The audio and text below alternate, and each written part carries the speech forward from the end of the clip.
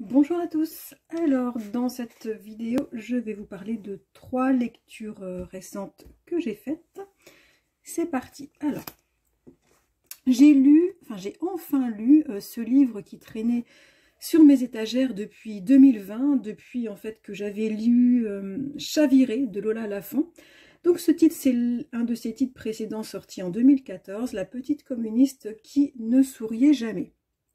Alors dans ce roman, Lola Lafont, elle nous raconte le destin de Nadia Comaneci, la petite gymnaste roumaine qui a fasciné le monde, entier pardon, au JO de Montréal en 76 et puis euh, durant toutes les années de guerre froide et qui a fait rêver des millions de petites filles qui voulaient devenir gymnastes à cette époque. L'auteur entreprend de raconter ce qu'a vécu la gymnaste prodigieuse, sa vie d'athlète de haut niveau, les durs entraînements toute la journée, les privations, les compétitions internationales, l'utilisation médiatique de son image, ses rapports avec le pouvoir en pleine dictature communiste sous le règne des Ceausescu.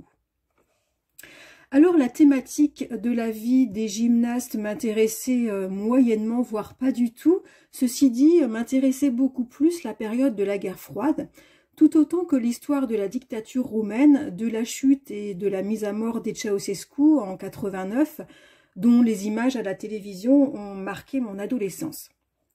Alors je ressors assez mitigée de cette lecture. La narration, en fait, alterne les faits, euh, mais en alternance aussi avec euh, des réflexions que l'auteur se fait, et puis aussi avec les commentaires euh, de Nadia Comaneci, puisqu'elle échange avec elle à chaque chapitre qu'elle écrit. Elle lui fait corriger son, écrit et Nadia Comaneci commente, commente tout ça. et c'est un peu confus parce qu'on ne sait pas si c'est vrai ou pas cet, cet échange que l'auteur a eu avec l'ex-gymnaste. Bref, il y a une alternance de trois narrations différentes. Tout ceci m'a rendu le récit assez confus, euh, malgré une écriture quand même très agréable. Alors la personnalité de Nadia est assez peu développée. Euh, elle est présentée comme une personne froide, distante, très intéressée. Quand elle s'exprime sur ses ressentis, sur son enfance très spéciale, la narratrice lui accorde assez peu de crédit alors que bon, elle a juste essayé de s'en sortir euh, sous un régime euh, de dictature en fait. Hein. Il y a beaucoup de sujets qui sont en fait abordés dans ce, dans ce roman, les conditions ignobles d'entraînement des jeunes gymnastes de l'Est avec la complexité euh, des médecins, la vie affreuse sous la dictature communiste en Roumanie, notamment pour les femmes, avec cette obligation d'avoir cinq enfants et un contrôle gynécologique tous les mois, sont abordées également les tensions et manipulations entre les grandes puissances durant la guerre froide par le biais du sport, le passage aussi de l'idolâtrie à la détestation des foules quand l'idole change. Ça fait beaucoup beaucoup de thèmes traités et en fin de compte assez peu approfondis. Il n'y a pas trop de positionnement réel de l'auteur ni de recentrage du récit. Euh, voilà, j'ai eu du mal à terminer cette lecture, même si j'ai eu beaucoup de plaisir à me replonger dans l'époque de la guerre froide. Alors ensuite, j'ai lu Deux personnes seules au monde, qui est sorti en 2019, c'est de la littérature coréenne. C'est un recueil de nouvelles de Kim Young-ha, euh, qui traite de la perte et de ses conséquences sous des formes variées, plus ou moins loufoques, dramatiques, mais traitées avec beaucoup d'humour. Alors, dans... il y a trois nouvelles. Hein. Dans la première nouvelle, une femme perd son père, qui est un être euh, manipulateur et abusif. Euh, il est en train de mourir. Toute la famille euh, s'est détournée de lui depuis de nombreuses années, sauf elle, qui ne vit que pour et par son père. Elle va découvrir elle va s'interroger en tout cas sur la notion de liberté euh, à travers la perte à venir de son père. Dans la seconde nouvelle, on suit un écrivain qui perd l'inspiration et qui ne la retrouvera que par une activité sexuelle complètement débridée. C'est une nouvelle très noire, complètement déjantée, qui se déroule euh, dans la majeure partie du temps euh, à New York. Une nouvelle qui interroge sur le prix à payer parfois pour euh, retrouver ce qui a été perdu.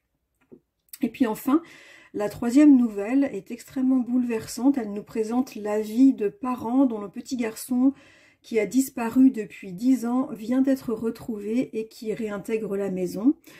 Mais les parents déjà bien euh, touchés, bien marqués par, euh, par, cette perte, doivent en plus renoncer euh, à l'idée qu'ils s'étaient faite de l'évolution de leur enfant. Ce sont trois récits qu'on peut qualifier de burlesques, où l'ironie et la brutalité se côtoient en permanence, le tout emmêlé de beaucoup de tendresse. C'est assez déroutant. Euh, c'est un ouvrage qui traite de la solitude humaine, qui guide les choix et les actes sous une forme assez inhabituelle, et c'est vrai que ça m'a dérouté, mais sans pour autant me déplaire. C'est une lecture qui m'a donné envie de découvrir les autres œuvres de cet auteur coréen, Kim Jong-ha, que je ne connaissais absolument pas. Et pour finir, alors là, euh, petit coup de cœur, un roman de la rentrée, euh, de cette rentrée littéraire. Ça raconte Sarah. Euh, non, pardon, je me trompe, c'est l'ancien roman de l'auteur euh, que, j'avais lu. Euh, ce roman de la rentrée littéraire de Pauline Delabroix l'art, c'est Qui c'est? Et effectivement, j'avais lu euh, il y a deux ans, je crois, Ça raconte Sarah, le premier roman de l'auteur, ainsi que son recueil de poèmes Tanière de mémoire que j'avais beaucoup aimé. J'apprécie chez cet auteur son écriture et beaucoup sa sensibilité. Alors, dans Qui c'est la narratrice euh, s'interroge sur l'origine de ces étranges prénoms que ses parents ont apposés à son prénom d'usage. Il s'agit de Jeanne, de Jérôme et d'Issée. Alors la narratrice est enceinte et euh, elle est fascinée par la question des origines et de la transmission, elle commence vraiment euh, à s'intéresser justement à ces quatre, ces trois, prénoms euh, apposés à son, nom d'usage. Ça devient essentiel pour elle. Et puis un jour, lui arrive un drame qu'elle appelle le jour blanc. Elle est complètement sonnée. J'en dirai pas plus sur ce drame, c'est le, cœur du roman. Elle est sonnée, elle est devenue incapable de parler et encore moins de pleurer. Elle s'isole complètement dans son monde et elle va se rattacher à Jeanne, à Jérôme et à Issée. Elle va les inventer, elle va essayer de, connaître qui sont ces personnages, mais elle aura assez peu d'informations, elle va les inventer euh, et elle va en faire comme un rocher de fantôme complètement fantasmé à qui elle va se coller pour euh, en fait pouvoir vibrer au contact de leur destinée qui est un peu euh, la sienne. Alors Pauline Delabroix à l'art, elle nous embarque avec elle dans les histoires très éparses de Jeanne, de Jérôme et d'Issée, qui sont les supports de ses émotions et de sa reconstruction face au drame qu'elle vient de vivre. On la suit sur les pas d'une de ses aïeules dont personne ne sait rien ou ne veut rien savoir, sur les pas d'un ami de la famille trop vite disparu pour des raisons taboues, et sur les pas d'une héroïne de théâtre très tourmentée. On se déplace à Paris, en Tunisie, en Chine, dans une vieille maison de campagne, dans des temps très variés, dans le fantasmé et dans le réel, tout se mélange, mais tout donne sens. C'est un récit cru, puissant, ça fait un peu comme une symphonie secouante, euh, mais très raccordante.